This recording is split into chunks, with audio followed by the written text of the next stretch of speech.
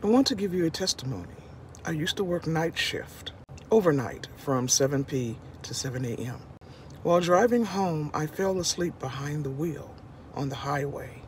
I was going 65 plus miles an hour. While I was asleep behind the wheel, I was veering off into the opposite oncoming traffic. A few seconds before I was going to crash, a hand hit me in the center of my chest like this. I felt the hand and I woke up. I didn't see the hand, of course, I was asleep, but I felt the hand when it hit me.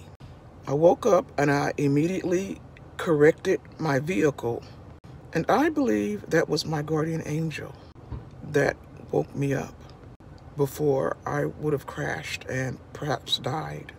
I was coming home from work and I felt that hand hit me in my chest, but there was nobody in the car but me.